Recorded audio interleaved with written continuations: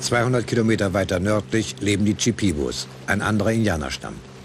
Vertrieben aus ihren Jagdgründen, eingeschlossen von Grundstückspekulanten und nahe der Stadt Pucallpa bleibt vielen Chipibos keine andere Überlebenschance als der Tourismus. Dieses Dorf, es heißt San Francisco, ist bei unserer Ankunft wie ausgestorben. Touristen kommen hauptsächlich in den Sommermonaten, aber dann zu Tausenden.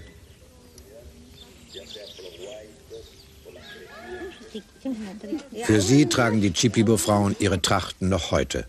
Exotismus verkauft sich gut. Wir haben für jedes Bild bezahlen müssen. Früher verschönten die Chipibos ihren Alltag mit kunstvoll bemalten Stoffen. Ihre Keramik gehörte zu den schönsten Südamerikas. Jetzt werden diese Gebrauchsgegenstände nur noch als Souvenirs für Touristen hergestellt.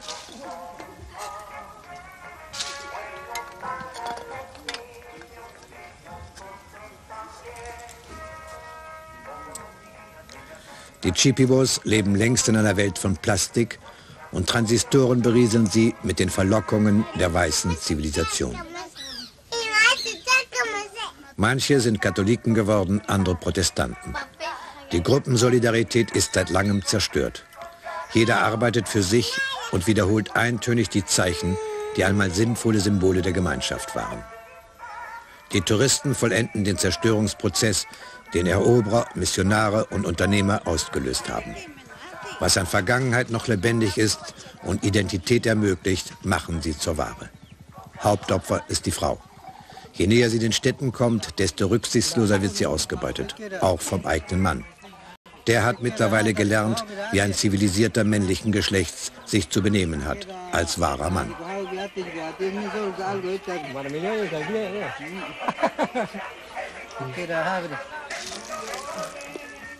Um filmen zu dürfen, mussten wir kaufen.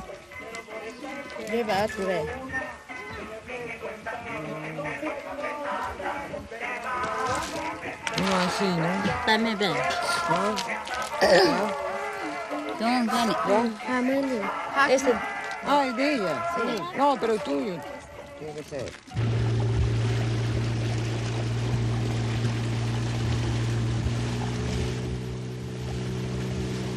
Nur eine Bootsstunde entfernt die Stadt Pucallpa mit ihrem Flusshafen.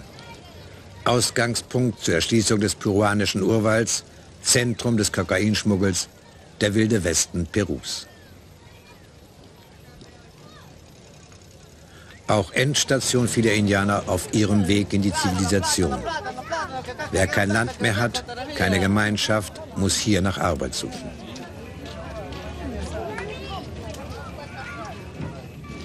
Diese Indianerin nützt ihre Geschicklichkeit im Kanufahren. In einem gemieteten Boot setzt sie Passagiere über. Ein Beruf.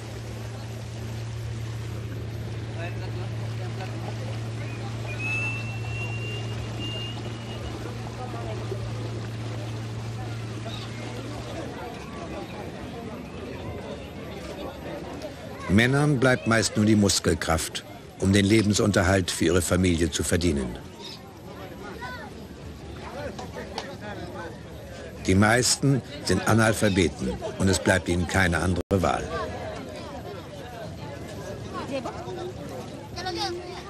Wer der Vergangenheit nachtrauert, riskiert unterzugehen. Selbstmorde sind nicht selten. Wer von Gleichheit träumt, ist hier verloren.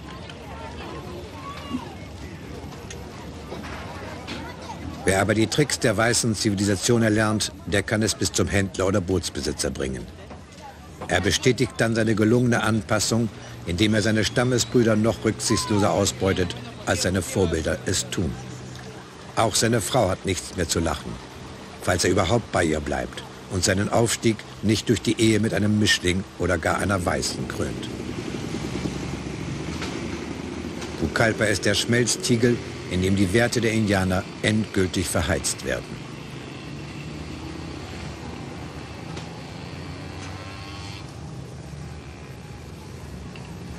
Die Chipibos haben es noch verhältnismäßig gut. Sie kommen nur tagsüber in die Stadt, um ihr Kunsthandwerk anzubieten. Sobald sie Ausländer wie uns in einem Auto entdecken, stürzen sie auf sie zu. Manchmal bieten sie sich dann auch selbst an. Touristen gelten als Sammler exotischer Liebeserfahrungen und schneller sind 5 Mark hier nicht zu verdienen. Die Prostitution ihrer Kultur führt zur Prostitution ihrer selbst. Wann immer wir in ein Restaurant gingen, wurden wir von Chipibo-Frauen förmlich überrannt. In der touristenarmen Saison haben sie es schwer, sich über Wasser zu halten.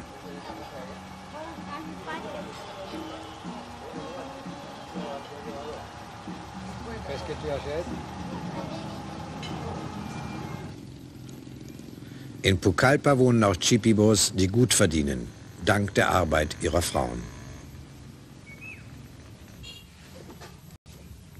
Diese müssen sich nicht mehr traditionell kleiden, um Touristen die Illusion ursprünglichen Brauchtums zu vermitteln.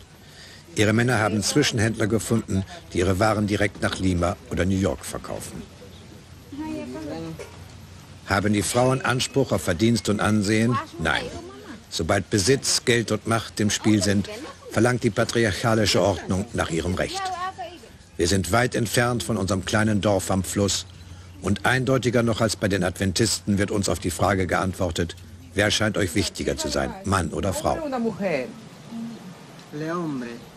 Der Mann. Warum? Warum ist ein Mann mehr wert? Weil der Mann mehr arbeitet.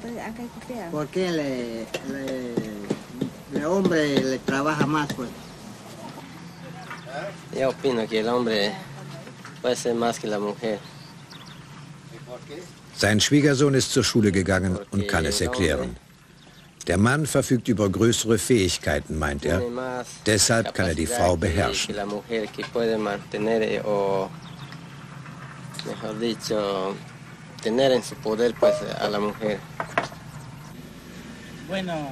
Ja, der Mann ist mehr wert. Warum? Weil der Mann schwere Arbeiten verrichtet, wichtigere Tätigkeiten. Auch im Haus ist der Mann überlegen? Na ja, ziemlich wenig. Sie sind also der Meinung, dass die Arbeit der Frau weniger wert ist als die des Mannes. Im Haus ist die Frau wichtig. Da hat der Mann nichts zu suchen. Wer entscheidet denn über die Belange der Familie, Mann oder Frau? Der Mann.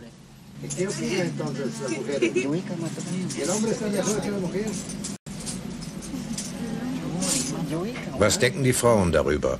Ist der Mann der Frau überlegen? Wer ist mehr wert, Mann oder Frau?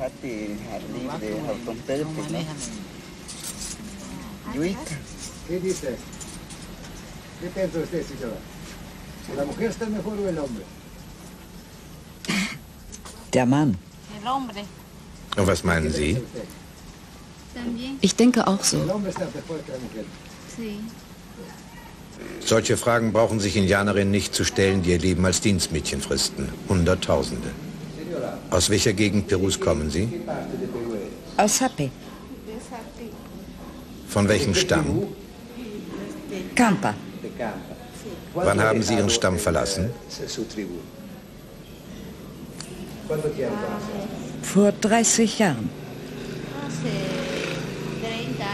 Und seit wann arbeiten Sie in diesem Haus? Seit 27 Jahren. Was verdienen Sie? Die geben mir nichts. Sie halten mich wie eine Tochter. Was bedeutet es, wie eine Tochter gehalten zu werden? Sie geben mir Kleidung, Schuhe, Essen, alles. Sie halten mich eben wie eine Tochter. Wie viele Stunden arbeiten Sie? Bis Mitternacht. Aber ich habe auch Ruhepausen. Haben Sie Ihre Eltern mal wieder gesehen? Ich habe keinen Vater, keine Mutter mehr. Ich bin Waise. Lebten Ihre Eltern, als Sie Ihren Stamm verließen? Nein, die waren schon gestorben. Deshalb bin ich hier. Heirat wurde ihr verboten. Sie hätte ja nicht mehr Haustochter sein können.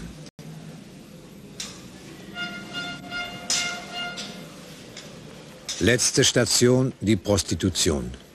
Indianerinnen, die nicht als Dienstmädchen unterkommen oder von ihren Männern verlassen werden, haben kaum eine andere Wahl.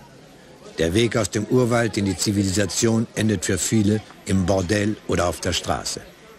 Sie haben endgültig Abschied genommen vom Lachen. Eine Prostituierte war bereit, mit uns zu sprechen.